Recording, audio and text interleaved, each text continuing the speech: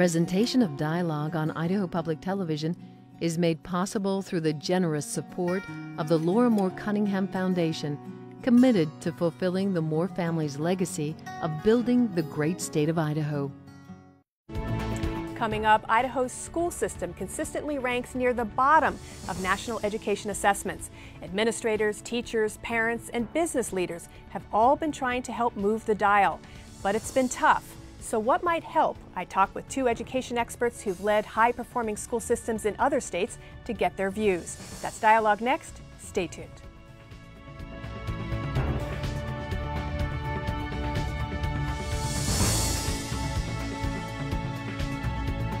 Hello and welcome to Dialogue. I'm Marcia Franklin. Whether it's test results, money spent on schools, or the numbers of students going to college, when it comes to many measurements of K through 12 education in Idaho, our state ranks near the bottom.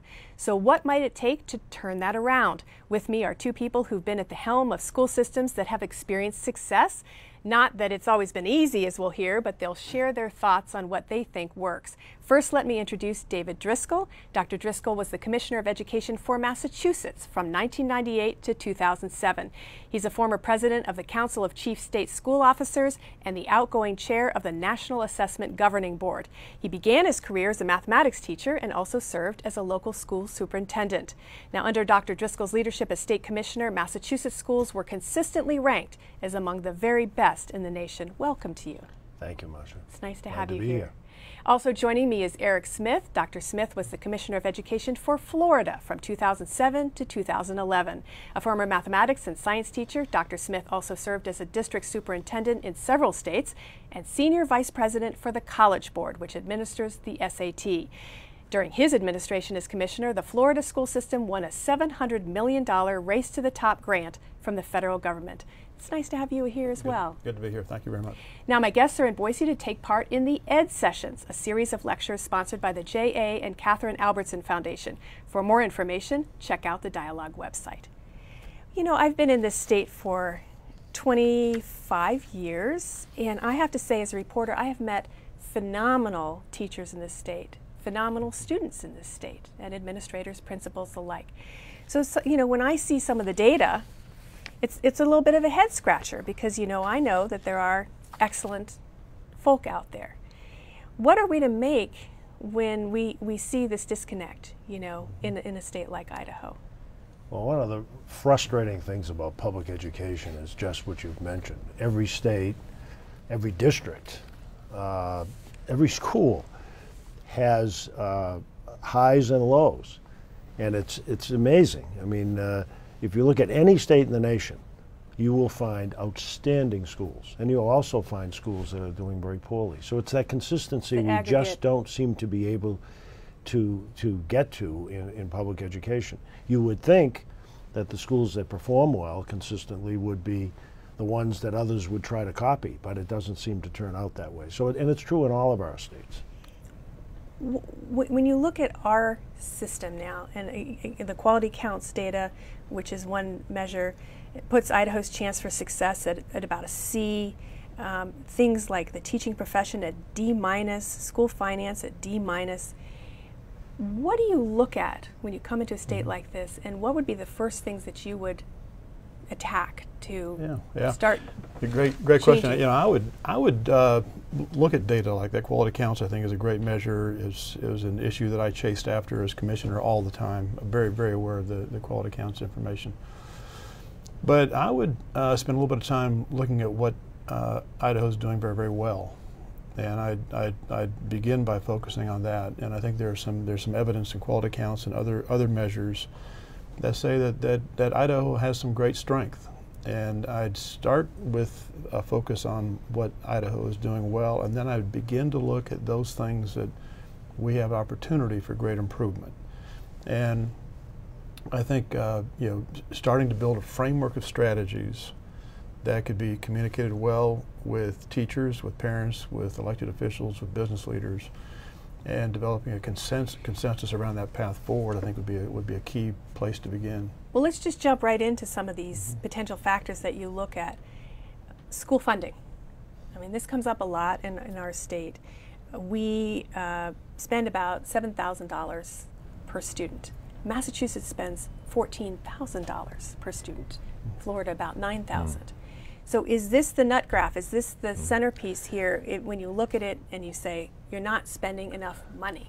So one of the uh, materials at the Albertson Foundation, which has tr tremendous data, by the way, one of the things that they gave to us was a scattergram of uh, the amount of money being spent versus achievement. And it's all over the place. And if you look at Massachusetts, it's the same. Cambridge, Massachusetts spends the, the most uh, of any district in Massachusetts, and it hardly has the best achievement. So the correlation between achievement and uh, money spent just isn't there. M my own view is that there is a minimum amount needed. You can't you can't have huge class sizes. You can't have in inadequate. So that's why in Massachusetts we developed a foundation budget that brought everybody up to at least a foundation. And there's a requirement that every local district has a minimum contribution.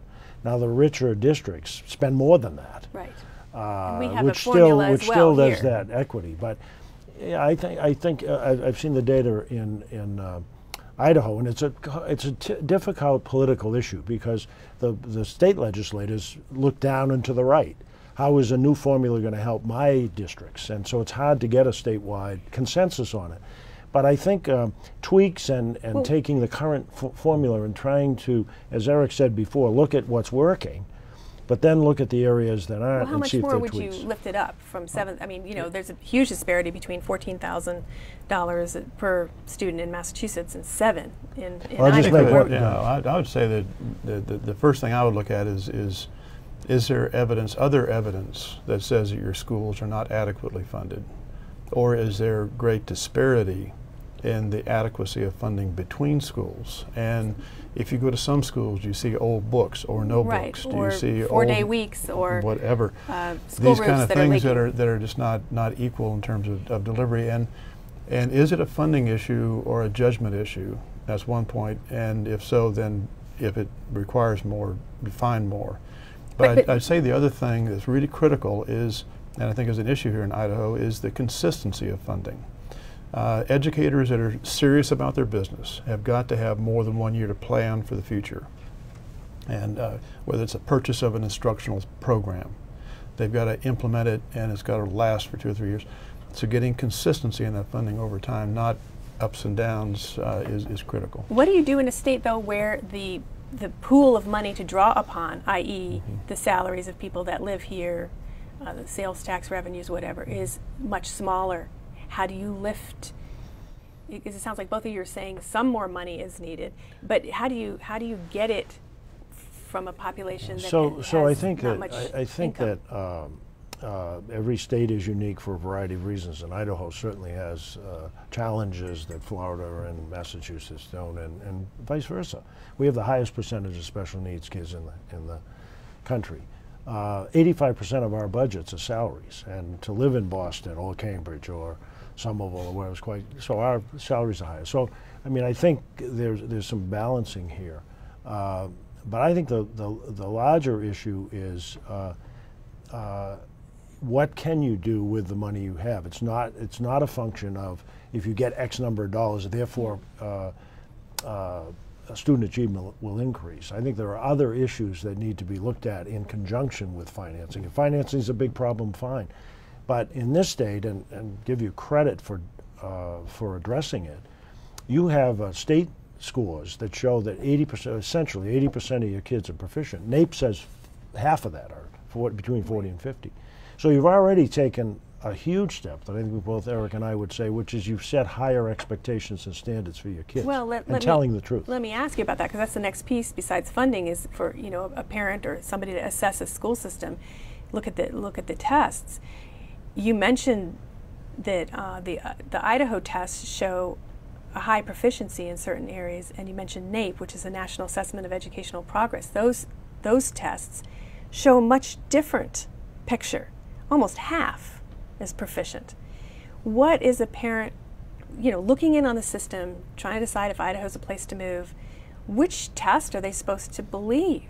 on this. Think, the data know, is all over the place. This this guy here is the expert on NAEP, and I've, I've learned a great deal from him about it. But I, yeah, I've always used uh, NAEP data. It, it's a it's a sampling, uh, population, so it's not going to tell you what school X or Y is going to be doing, but it, it's a sampling of your performance. And it's a national. national, and, and it, it, it, it is kind of like the you know the gold standard. Mhm. It's the it's the backstop, and you can tell where your where your state is moving or not uh, based on some of that multi-year performance data. But I, I think you know again Idaho has done some phenomenal work and needs to be careful about how they take care of this opportunity that they have because they, they have moved to, to shared standards with other states uh, through the Common Core and they've, they've moved to a shared assessment with other states. But when you see that disparity, doctor, between the national exam and granted it's just a uh, it's not serving every student and the Idaho data, which Mhm. is almost d- double shows us a double proficiency, w- which is correct. I mean, it, it could be that the, s- the standards for Idaho are less rigorous, and so that's why the scores are higher. I think you can draw that conclusion. I think there's a question about that. You should take the NAEP data. That, that's consistent and correct. So any state that has much higher, you don't have to be exact, but uh, double, uh, clearly doesn't have uh, proper standards, the, the right expectations for kids. One state has uh, over 80% proficient, and yet under NAEP less than 15% proficient. So they've clearly set too too low a bar. But as Eric points out, uh, Idaho has now joined the Smarter Balanced. So, uh, and mean, the, the Common Core. the comment, the assessment for uh, those states that there are two assessment PARCC and Smarter Balance that have emerged that are uh, consistent with Common Core, and Idaho has chosen Smarter Balance along with 20 something other states. So you're soon going to have, first of all, there'll be results, and the first thing that happens when the Smarter Balance results come out and the PARCC results come out, people are going to compare it to NAEP, and they know that. And, we, and actually, we've we've worked with both consortia. So, de- so Idaho will have results that are comp- comparable to other states because they're taking the same test. testing. You you you're a proponent of testing. I think testing is very important. You're a proponent of lots of testing. Um, Uh, I wouldn't go that far, you- quite, but I, I'm a proponent of testing. I think testing is important. Yeah. Uh, teachers, some parents, um, Uh, you know, are very concerned about what they see as over testing right now. Yeah, and I, I, I think that you know, first of all, what, the old adage, wh- what what gets measured gets done. What's im- what's important gets measured. I think those those things are very true. And if the education of the children in Idaho is important, people are going to want to know whether it's being effective and efficient. Particularly parents are going to know whether whether the job in my school is making a difference in my child's life. And the only way to really know that is is through some form of ass- a, a legitimate assessment that gives you a good measure. So, how do you respond to And- the teachers who are concerned about over testing? Well, and I think when that gets broken down, uh, you know, in, in, in most states, uh, I assume Idaho as well, you know, the, the big mandated state is an end of year assessment required through No Child Left Behind. And uh, so there's one year, one day, one, one day, maybe two, that there's an assessment out of a 180 day, roughly school year. Uh, so I, now what, what leads up to that might be a whole battery of other assessments to make sure kids are ready for that test. So I don't think the state, I personally don't think that the state mandate uh, or, or the, of, of, of an assessment uh, annually to see whether or not progress is being made is Too onerous. is, is is too onerous at all. And and assessment, uh, you, you've got to tell me where in life do you go after K-12 school, after graduating from high school? Where do you go that you're not going to be met with some form of pretty important assessment, whether it be college or whether it be a, a medical degree, a law degree, a licensure, licensure to be a, a welder. Uh, where are you going to go that there's some, and so assessments in, in our society and in, in life in general are, are pretty important elements that kids need to be ready for. So uh, as I, I disagree slightly with my colleague, although the Florida data is just fabulous, by the way. You said you can actually track a student all the way Oh, yeah, through Yes, from We- kindergarten we- into the NAGBA used Florida's data. College. It's just terrific stuff. But um, I, I would disagree. I think I think uh, there is too much testing mandated by the feds. I don't think we have to test every year three through eight at the at the state level. Uh, I think you could tell. We used to test four, six, and eight in reading, in math, three, five, and seven in reading, and then let the locals use formative assessment, et cetera. It's more than one or two days by the time you do science and history and, That's what I've and heard, lead up. And, and of course, people feel they have to teach to the test because of the pressure and so forth and so on. So I think that that is an issue that's somewhat legitimate. On the other hand, far more serious than that, uh, if, if people want to say there's too much testing, there's too little analysis of the data. We have a wonderful example in Boston, Orchard Gardens Elementary School. Uh, five years ago was the lowest performing school in Boston and inherited uh, 50% of the kids from the poorest uh, uh, school in Boston, in Roxbury, uh, poorest uh, children into the school. So they had a they had a low performing school, and then they had low performing kids come in. So the mix was strange. They are now the highest perform. They had the highest percentage of increase. Well, if you talk to the principal, uh, who was a new principal, the, the way he changed it. I mean, first of all, he changed a lot of the teachers and so forth. But um, it was all focused on the data. Uh, he has the data on the, as you walk in the school, here are the results. So his fourth grade teachers sit down when we get the results back. And by the way, the results are by, by question. So you know how many kids got the question right or wrong, they even know what they chose as the wrong if it's a multiple choice. They dove into the data and as a result of using that data, changed instruction. That doesn't happen enough. So as much as I sympathize with too much testing, it really uh, bothers me that we have all this data that schools, some schools use in a wonderful way, other schools kind of ignore, and that's Lem- a problem. Let me ask you about another kind of testing, which is i- which is very controversial as well, which is testing of teachers, uh, whether it's testing their content knowledge or their pedagogy. You know, um, there's just a lot of rancor right now around this issue, a lot of fear, a lot of, you know, Yeah, I Uh, think there, you know, there, there is, there, uh, understandably, there's, there's concern, particularly with educators about, about this practice. But, uh, know, it, it is true that, that the most important element in, in uh, getting a better result with children is going to be the quality of the teachers in our classroom. And so whether it be on the licensure side or the, or the graduate, the, the college degree that is earned and the rigor to get that degree, to get the best uh, talent uh, out of college and into our classrooms and increasing that, that trajectory is going to be critical for Idaho or any state in the country. The second is to make sure that, that, that the performance in the classroom matches, uh, matches the, the quality we say that that teacher has. And in general, across the country, most evaluations for teachers are, are stellar. I mean, we, we, don't, we, don't, we don't have a bad teacher out there and uh, they just don't exist. Uh, yet our kids are coming in at less than 50% proficient, and so there is a disconnect. And I do, you know, I've always been a strong advocate that at least a portion of a teacher's work, as with anybody else's work, your work, I would imagine, has got to be tied to to the work you're doing. And so whether that be through an assessment or other forms of, of measures, uh, samples of student work, other kinds of ways, but there needs to be a, a connection between the things that you're asked to do, paid to do by the state. Uh, are you making a difference with the children that come in without those skills? Do they leave with those skills? So our, our whole law was based on three very simple principles. Higher standards and expectations for students, and that was our testing program, including a 10th grade test. high stakes test. that they had to pass to get a diploma. High standards and higher standard expectations for schools and districts, and we had accountability uh, uh, measures there. And then higher standards and expectations for educators. By the way, this issue about uh, uh, every teacher across the country being rated uh, highly, I don't know why that's the teacher's problem. I think that's the principal's.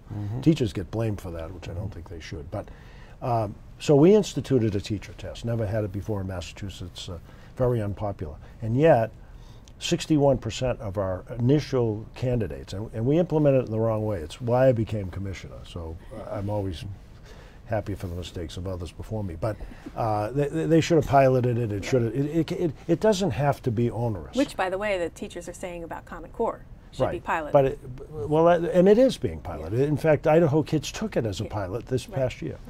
So, uh, so, and but what it revealed after all the dust settled, and we uh, was that too many teachers did not have the content knowledge they needed, particularly in mathematics at the elementary level was a, was a major one. And reading, by the way, the actual content knowledge about how to read.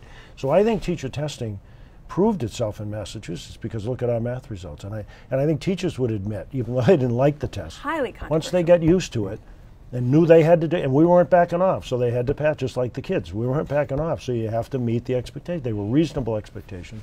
It works. this issue, this education policy, is so tense at times. Has been in, in our state, is nationally, uh, right now as we speak, and just uh, you know, there there will be some teachers who will look at your resumes and say, "Hey, you, you're both associated with very conservative groups, Fordham Institute in your case, and Jeb Bush's Chiefs for Change, which uh, Idaho Superintendent Tom Luna was associated with." The, these are people in their view, these are institutions in their view that don't support teachers, that are for things that are anathema to them. Well, I, I, I, I first, absolutely disagree. And, uh, you know, the Chiefs for Change and other other groups, Governor Bush, uh, incredible advocates for classroom teachers, and they're also incredible advocates for for children, and uh, that they want the best for both. And so I think uh, these policy changes.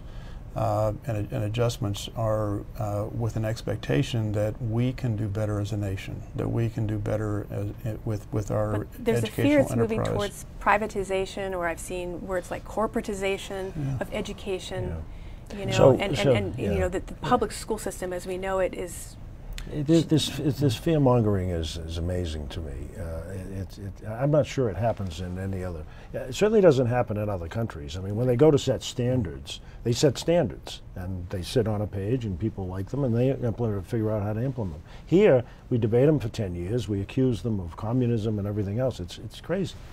Uh, for the record, I'm a registered Democrat in Massachusetts. Uh, and I kid Checker Finn at Fordham Foundation about that all the time.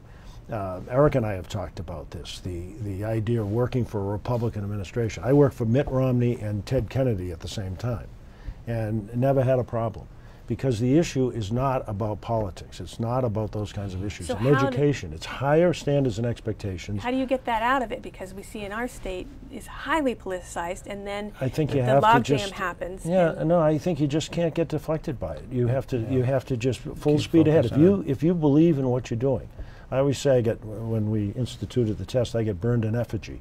The interesting thing is seriously you got yeah, burned in effigy But the interesting thing is it doesn't hurt. So uh, you know meaning you- because you, you, you because they believe- burned something and and it's it does not you. yeah, it does take it does take really strong leadership to uh, to drive through it. Th- th- you know, our uh, anyone that chooses to use our children for political advantage uh, should be shamed. Uh, that it, it is about uh, it is too important to the lives that we have responsibility for every day to make this a political football. and so there there should be an active uh, active effort on on uh, on out of all parties and and independents uh, to really find common ground around what's what's going to be the best service for children and, and uh, you know making sure we have the best teachers in the classroom is not a political agenda. Uh, making sure that our children have high standards and high expectations should not be a political agenda. Making sure that we know whether or not our kids are achieving and our teachers are performing and are adequately funded should not be a, a political agenda. Two other points I might get. We're rapidly running out of time. Um, Idaho has a pretty good graduation rate, all things considered. Looking at other states, still not perfect. It's somewhere between 80 and 90 percent. The the go on rate, as it's called, to college, not not not good as good at uh, 47 percent or something like that going to college, and, and it drops even lower when you look at how many high school freshmen actually eventually complete college, something like one in 10 from some data. This is important, I assume, to, to both of you when you look at districts and their functioning is how many children are actually going. Yeah, Because and some people would say college is not, shouldn't be think- a. yeah. Well, uh, uh, uh, Eric will talk about the tremendous data he has, and so he, he knows exactly i- into the workforce. But this is a huge problem across. It's not just Idaho's problem. This is a problem in Massachusetts. This is what they talk about developmental courses and remediation. You have literally hundreds of thousands of kids who graduate from high school. In our case, we know they at least passed our tests, so we have Right. basic skills. Uh, they go on to community colleges. They take uh, some kind of an entrance test, Accuplacer or something. They, they don't pass. They go into non-credit bearing courses. They drop out and, and use up their financial aid. It's a terrible, this remediation and developmental courses is a terrible national problem. So we've got we and and and the K to 12 system has to has to own this because we're sending kids out, and they ought to be able to at least persist, uh, and, and they're not. And now there are other factors obviously involved, society and other Uh, things, but how much it but costs it's a big and, problem, and other and, things. uh, Another challenge, uh, just this year, we are now majority minority in the public schools. Uh, That's in- not, in it's the- not necessarily a big problem. Could- I, I think you, you, that was you a have- question. yeah, another, you have- is yeah, it another challenge? You, it, it, it, you have demographic shifts which have probably been going on for decades, and without ma- maybe it's accelerating, maybe not. Uh, you know, I, you know, Florida certainly is an example of a, of a state that has had huge demographic shifts, and, and we do do so quite often with regularity. Have demographic shifts of uh, uh, Haitians, Cubans, uh, uh, Central American, South America, Europeans, and so we But the English language English language part of that is, is, is huge. Is huge. that's a challenge. Yeah, and so uh, again, uh, making sure that you have solid research-based decision-making, data-driven decision-making around the best uh, pol- state policy and instructional strategies to support schools to deliver with, with children. How quickly uh, you expect kids to be able to, to move to uh, English-based proficiency and, uh, and and then measure the daylights out of that. One of the great things about No Child Left Behind, a lot of critics for it. One of the great things that it did was it's put a put a very clear spotlight on uh, on the inequities that existed between uh, language learners and, and poverty and and and, uh, and and minorities and special needs, and it elevated a great deal of our, our kids. So I think uh, monitoring that work is, is going to be key. Uh, We've got, me- yeah. Yeah, let me just t- tell you this because it's important to know. We are losing ground when you look internationally, without question. More and more countries are going by us, uh, uh, student achievement. And so we have problems. But as we talked about before, there are pockets of achievement everywhere. And if you look at America, American student achievement based, based on NAEP testing long term trend, nine year olds, 13 year olds, uh, it has actually increased over the last 10 years for all groups whites, Hispanics, Asians, all groups have blacks have all increased. So So, we're doing better in terms of student achievement. The problem is the mix. There's less whites and so forth. So that brings the overall score down. But actually achievement is in, improving. in Florida, So- our Hispanic students uh, outperform many white students in other states on NAEP. So there is s- things to build on, but what we need to get consistent, get the politics out of it, focus on high standards and expectations, the data, and really focus on student achievement and, and not this other stuff. Well, great. Thanks so much, and, and both of you have generously agreed to stay for a little bit longer to do to tape an extra with me. I really appreciate it.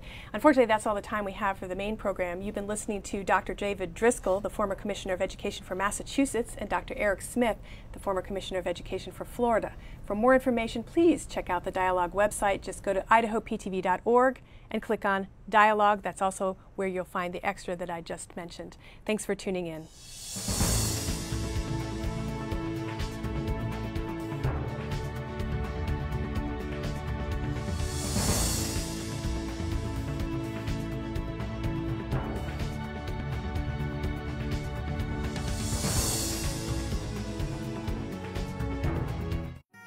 Presentation of dialogue on Idaho Public Television is made possible through the generous support of the Laura Moore Cunningham Foundation, committed to fulfilling the Moore family's legacy of building the great state of Idaho.